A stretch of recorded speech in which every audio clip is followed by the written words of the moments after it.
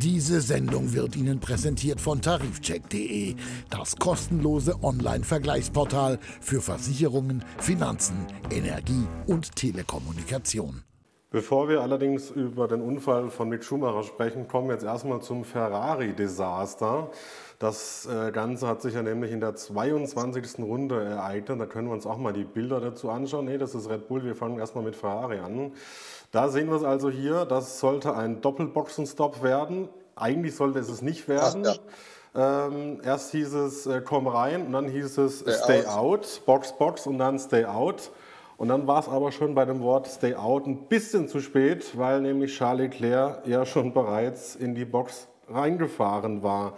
Und er hat sich dann tierisch aufgeregt. Er hat sich ja dann äh, mal ordentlich im Funk ähm, ausgekotzt, um es mal so zu formulieren. Und das Ganze hat ja. Bitte, Kai, was? Echauffiert. Echauffiert, ja, ein bisschen. Er hat, äh, war mal so ein bisschen lautstark, kann man sagen. Er hat seine Gefühle mal ein bisschen äh, kundgetan, verständlicherweise, weil das hätte ja eigentlich ein erfolgreiches Wochenende werden können für Ferrari. Letztlich wurde es ein eher suboptimales Rennen und äh, ja, von Platz 1 ging es für Charles Leclerc nämlich dann direkt auf Platz 4, weil nämlich auch dann Red Bull in der gleichen Runde auch einen Doppelboxenstopp hingelegt hat und das war dann wiederum für Sergio Perez und auch für Max Verstappen dann jeweils die Gunst der Stunde, die man genutzt hat. Ähm, Frage mal an Marc gerichtet. Ähm, wie unfähig war Ferrari gestern, äh, oder vielmehr wie fähig war Ferrari gestern eigentlich, äh, Charles Leclerc den Sieg zu verhauen? Ja, das haben sie gut gemacht. Hat geklappt. Also, was hast du gedacht, Marc, als du das äh, mitbekommen hast, als es diese Szene gab? Du warst ja auch in Monaco vor Ort, hast es ja auch kommentiert. Was ging dir da durch den Kopf? Also ich habe erstens mal nicht verstanden, um von vorne anzufangen. Perez war der Verfolger, also der, der heißeste Verfolger von ihm. Perez ging an die Box und hat sich Intermediates geholt. Warum zum Teufel holt man dann nicht, wenn du einen Fahrer hast, der ein paar Sekunden vor dem Feld herfährt, dann musst du reagieren, was die Konkurrenz macht. Ganz genau. Dann, dann musst, wenn du spätestens die nächste Runde musst du deinen Fahrer reinholen und das Gleiche machen. Damit du, dann bleibt der Vorsprung erhalten. Teilweise, ja. Aber was haben sie gemacht? Sie haben zwei Runden gewartet, bis der Vorsprung weg war. Und dann haben sie Leclerc auch Intermediates gegeben. Ja, da hat er eigentlich schon verloren gehabt. Und dann wollten sie einen Undercut machen. Das heißt, sie haben ihn, Leclerc früher reingeholt, um ihm Slicks zu geben, damit er dann eine Chance hat, mit Slicks eine bessere Rundenzeit zu fahren, um einen Undercut zu schaffen. Aber dabei haben sie übersehen, dass der Seins an der Box steht. Sorry, aber das ist einfach schlechtes Management. Und ich möchte an etwas erinnern, das wir auch schon diskutiert haben, damals in Miami. In Miami war es so, dass äh, virtuelles Safety Car war und der Max Verstappen fährt an der Box vorbei und dann, dann heißt es Safety Car. Und in dem Moment hätte Leclerc an die Box geholt werden können und weiche Reifen geben. Haben sie verschlafen. So, jetzt haben sie zum zweiten Mal was verschlafen. Also mit so eine Strategie wird Leclerc nicht Weltmeister. Harte Worte. Norbert, äh, teilst du Marks Worte? Also war das einfach wieder mal ein äh, unkluger Schachzug, den man da versucht hat? Auch so ein bisschen vielleicht dem Druck geschuldet. Ja, ich glaube, dass man da tatsächlich alles besonders gut machen will und äh, viel, viel zu lange Wege hat. Und ich, ich will auch noch mal an eines erinnern, dieser dieser Tracker, den jeder an, in, der, in, in, seiner Strategie hat, also wo Autos gezeigt werden, an welcher Stelle sie sich gerade an der Rennstrecke befinden, der, der stimmt halt nicht hundertprozentig. Und es wird nach Tracker gegangen und dann wird noch Stay Out gesagt, wenn das Auto schon dir praktisch mehr oder weniger vor der Nase steht. Und deshalb, deshalb lohnt sich da immer, und nochmal, ich will da nicht, ich, ich war da oft genug dabei und ich habe auch Strategiefehler erlebt, die, die aussehen als, äh, sag mal, was habt ihr denn alles verpennt? Nur in diesem Falle wollte man es besonders gut machen, war sicherlich auch unter Druck. Und äh, ich meine, ich, mein, ich kann jetzt Stay Out sagen, wenn ein Auto in der Boxenstraße ist. Äh, vielleicht hat er den Überblick nicht, der, der Ingenieur, der spricht, aber neben, die Daten sind wichtig, der Tracker ist wichtig, aber dem Tracker zu misstrauen in Monaco ist angesagt, mehr als an jeder anderen Strecke. Also der Tracker ist, der zeigt dir, wo, an welcher Stelle das Rennauto auf der, auf der Rennstrecke gerade ist. Digital da hat man da ein, ein, das auf dem Bildschirm.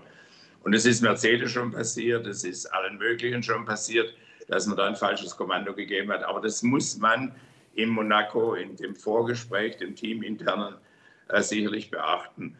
Und was der Marc gesagt hat, ist vollkommen richtig. Das war wirklich keine Raketenwissenschaft. Wenn du in Führung liegst, der hinter dir geht rein, dann hast du genügend Zeit zu einem ordentlichen Boxenstopp. Wenn ich aber den Doppelschlag machen will, ich hole sie beide rein. Marc, eines muss man auch noch sagen. Der zweite war dann in dem Moment äh, der Leclerc, der weiter der, der, der länger stand als notwendig, was halt die Gefahr ist bei einem Doppelstopp. Und da hat er Zeit äh, verloren. Und das ist, das ist einfach das zusammen, äh, erträgt so ein, so ein Rennen nicht. Dann bist, du, dann bist du hinten. An einer anderen Strecke kann man per Speed, Undercut, whatever, wieder überholen. Aber Track Position ist in Monaco das Wichtigste. Äh, da gab es Rennen, da ist man schon zehn Sekunden langsamer gefahren, als man konnte und ist trotzdem vorne geblieben. Da gab es Graining auf den Vorderreifen und dann fährt ein guter Fahrer so lange, so langsam, bis das Graining aufhört und wird trotzdem nicht überholt. Und wir haben das ja auch schon gesehen im Hinterfeld, wenn ein schnelleres Auto da ist. Wir haben es jetzt übrigens auch bei Lewis Hamilton gesehen. Äh, der, der kam nicht an Alonso vorbei. Alonso hat seine Reifen geschont und hat hinterher dann wieder Gas gegeben. Also Monaco ist das sehr speziell. Zusammenfassend, du darfst deine Position auf der Rennstrecke möglichst nicht aufgeben und musst das an Strategie machen, was dir deine Position erhält. Und das wäre äh, möglich gewesen nach dem Stopp, nach dem vorgezogenen Stopp von, äh, von Red Bull wie Marc sagt, hätte man das Gleiche gemacht, äh, dann wäre die Siegchance absolut intakt gewesen. Keinmal so auch gerade jetzt mal an dich gerichtet, du hast das Rennen ja gestern auch gesehen. Kann man sagen, dass, wenn man sich die, bisherige, die bisherigen Rennen, sieben Rennen anschaut, man hat bei Ferrari nach all den Jahren endlich wieder mal ein Paket, wo man um die WM mitfahren kann. Und jetzt ähm, macht man durch solche, durch solche Entscheidungen Charles Leclercs WM kaputt? Fragezeichen?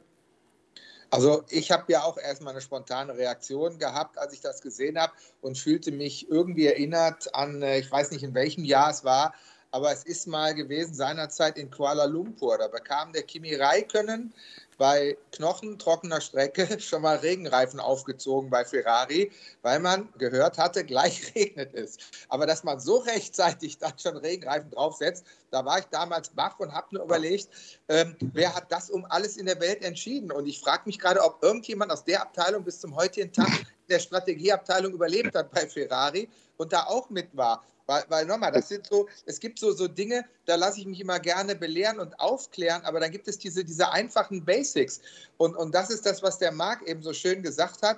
Also da, da, da geht Red Bull geht rein und das Einfachste ist, dann, dann mache ich dasselbe. Man, wie heißt es so schön, man covert sich. Also das, das hat ja nun jeder begriffen. Und warum man diese Basics nicht so ganz einfach einhält, ist für mich mit nichts zu erklären und auch nicht mit Treckern und digital. Das ist doch fast schon gesunder Menschenverstand, da einfach nur zu reagieren. Dann würde ich denen empfehlen, dann schmeißt euren ganzen Digitalkram aus der roten Box raus, redet mit eurem Fahrer und fragt ihn, Junge, was möchtest du machen? Was schlägst du vor? Du fährst da draußen und dann sagt er, wie seinerzeit ein Michael Schumacher oder ein Senna, ich komme jetzt rein, gib mir die Reifen oder ich mache dies, ich mache das. Aber, aber so das, das, das war ja jetzt nicht irgendwie, das kann passieren. Na klar hat da jeder schon daneben gelegen. Red Bull hat auch schon mal in Monaco, glaube ich, den Ricardo mit einer falschen Strategie äh, gestraft. Sogar bei Mercedes, ja, ja, ich will es nicht sagen, aber auch da sind ja Fehler passiert. Klar. Ja, äh, äh, es gibt manchmal eben Dinge und da sage ich, und das ist für mich so einfachste, das, das, das ist ja echt jetzt keine Mathematik mehr, sondern da, das, ist, äh, das ist einfache Basis, darauf zu reagieren was die dann machen. Die geben dir sogar die Vorlage, dass du sagen kannst, okay, ich fahre die Runde zu Ende, komm dann rein. Und dann haben wir genau das, wenn der Stopp einigermaßen gut geht, haben wir dasselbe wie vorher und dann überlegen wir, was machen wir mit den zweiten Autos. Und, und da bin ich auch ratlos, warum und in welcher Hektik das so dann entsteht und wer bei sowas dann das letzte Wort hat. Das war jetzt nur ein kleiner Ausschnitt aus unserer Sendung. Die ganze Sendung in voller Länge gibt es auf www.champone.de.